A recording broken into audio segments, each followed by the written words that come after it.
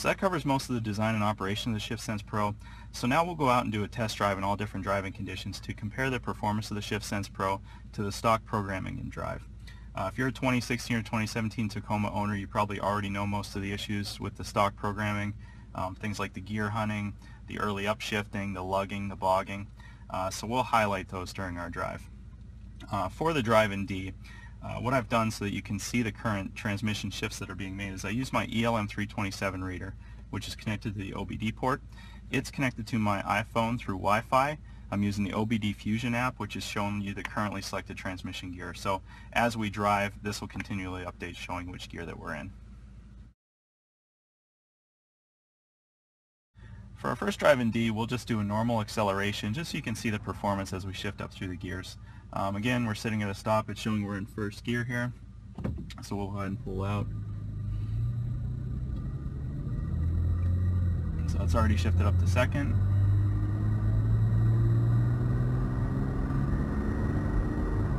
Third.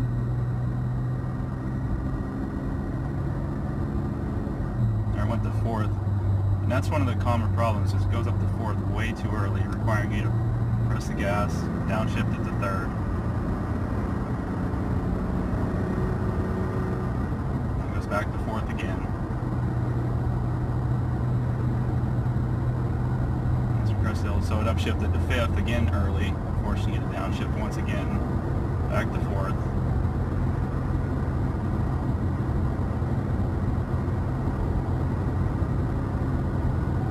As we press the hill, go back to fifth.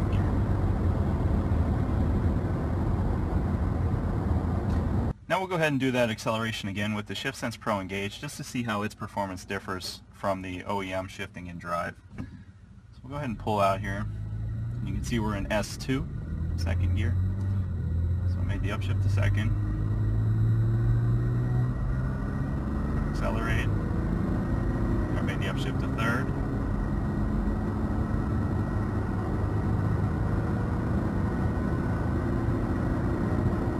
Shift up to fourth. As you can see it held that shift up to fourth a little bit longer, which keeps you more up into the performance of the engine without falling off the cliff when after you make the shift. Continuing to hold four.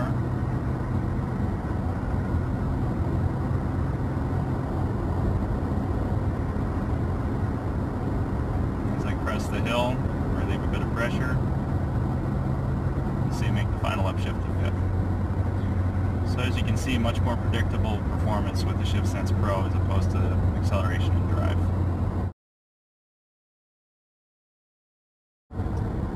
So this is one of the other areas where you get a lot of complaints with the Gen 3. Um, we're decelerating from highway speed into a neighborhood.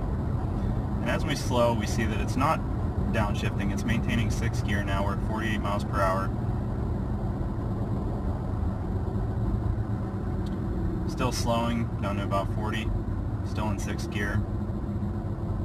So at this point, there maybe downshift to fifth, but if you were to step on the gas, you're at such low RPM that the truck will actually start to lug. And there I feel it lugging quite a bit. We're at uh, about 1100 RPM. Still in fifth gear. Press on it more.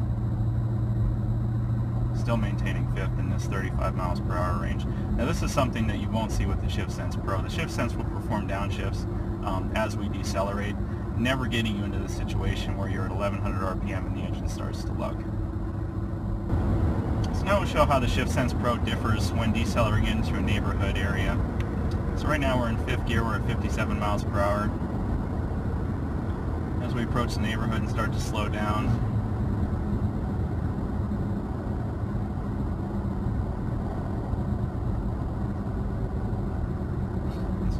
see to 45, it makes the downshift to fourth gear.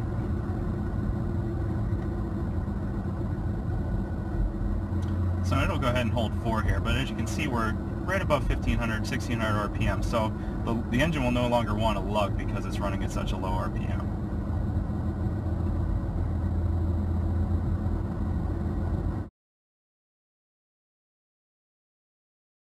So this area, this is one area where I notice a lot of gear hunting typically going from one freeway onto the next through an interchange. So we're in sixth gear still. Starting into our turn. Goes the fifth, fourth, back to fifth. We're at 41 miles per hour now. Back to fourth, fifth, fourth. Now we'll start to accelerate up to highway speed. Drops to third. Went to fourth way too early. Take it back to third. Up to fourth. We're fifth. Back to fourth. Fifth. Now, this is one thing I noticed about the Tacoma. Um, you know, really for any vehicle, it should be tuned where you could, you know, when you put your uh, accelerator in a fixed position, it, it should the shift point should match that demand of throttle. And one thing I noticed with the Tacoma, it requires a, a lot of throttle manipulation. So, you know, it seems like it'll you'll be at a, a certain throttle position, it'll upshift way too early, uh, which forces you to mash the pedal to make it uh, accelerate more, so it downshifts. Revs way high, then you need to let off the throttle, uh, which causes it to upshift again, and you just get into this vicious cycle where you can never seem to accelerate smoothly. So here we're up to highway speed. Uh, I notice it's hunting a bit between fifth and sixth gear. Mostly flat here, slight grades. Now we're in sixth gear.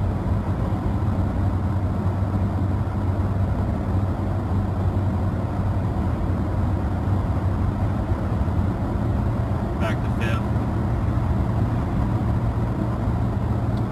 Sixth gear is so high of a gear ratio in this truck, it's tough to sustain uh, with any type of grade or headwind whatsoever. So, uh, you know, typically it needs to use fifth um, in this speed range. Once you get above 80 miles per hour, it'll hold sixth gear longer uh, because you're starting to get back up into that torque curve a little higher uh, where the engine can produce enough power to maintain speed. But anything less than that, it's constantly back and forth between fifth and sixth. So now we'll exit off the freeway and uh, watch the downshifts occur as we decelerate. 56, we're still in sixth gear.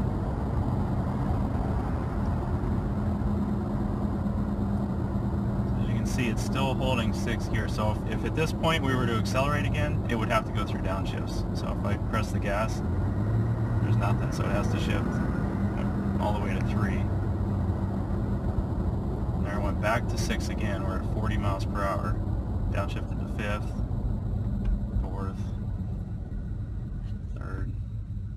to 1 when we come to stop. So this time we'll see how the ShiftSense Pro compares in this interchange area uh, where we saw the gear hunting and early upshifting while in drive. So as we're decelerating, we're in 5th gear right now. As we get to about 45, we'll get a downshift to 4th. Okay, there you see the downshift to 4th.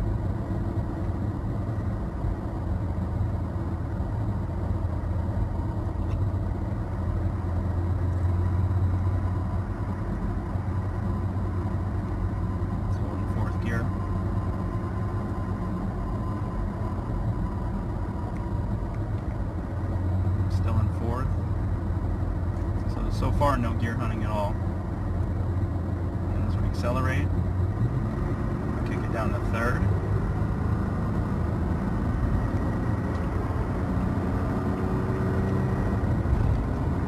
And you notice that it held that shift a bit longer, so a bit higher RPM when you shifted into fourth, and we were more able to continue accelerating smoothly. There made the upshift to fifth. So much smoother acceleration. The shift sense effectively eliminated the entire gear hunting situation that we see in that interchange. Um, so now we're cruising at 70 miles per hour. We're below the minimum upshift speed to sixth gear, so it it would stay right here without hunting at all. Um, for a moment though, I'll accelerate up above 72 just to show you how we can uh, use the throttle to uh, pretty much select whether we want to stay in fifth or sixth gear. So right now I'm at 75, I'm still in fifth gear. If I hold moderate pressure on the throttle, it won't upshift to 6th. But if I want to upshift to 6th, all I need to do is feather the throttle slightly. Right there. All I did was just slightly let up and it went to 6th gear. Now with this type of uh, a little bit hilly terrain here, uh, it won't hold 6th for long. I'm sure it'll downshift to 5th soon. But uh, the ShiftSense Pro really eliminate the shift hunting and it'll uh, keep it in 5th um, as opposed to where the OEM would allow it to upshift to 6th and go back and forth between 5th and 6th all the time. Um, right now it is actually holding 6th pretty nicely. There, drop back to 5th.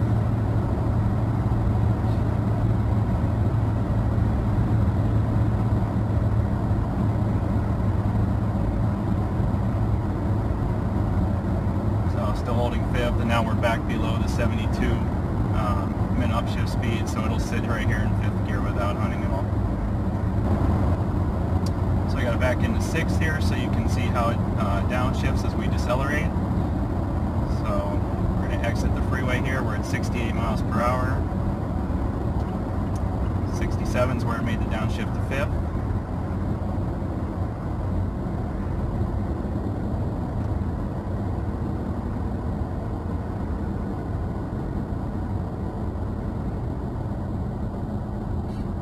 As we can continue to slow, 45, it shifts to 4th. So in this situation, you know, if you weren't coming to a total stop but you were planning to accelerate again, you would already be, in the right gear that you need to accelerate. So 25 will get a shift to 3rd. As we come to stop, that final downshift to 2. Now as we start out, the truck continues to start out in first gear, as it should. Shifted to second. And from here on up, the shift ShiftSense Pro will control the rest of the shifts.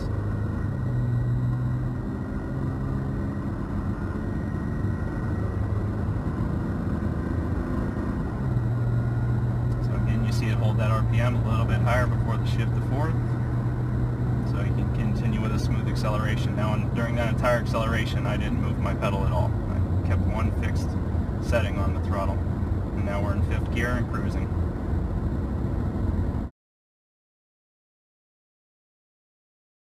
Lastly, when operating with the ShiftSense Pro, it will continually show your shifts on the dash indicator. If you don't like to see this, you can disable that following the instructions in, on page 96 in the owner's manual. And to demonstrate this, what you do is use the selector on the steering wheel to go to the Settings tab, press the center button to continue. Pop-up display is what you're going to want. Select that. Then if you go to Shift Position and unselect it, hit Enter,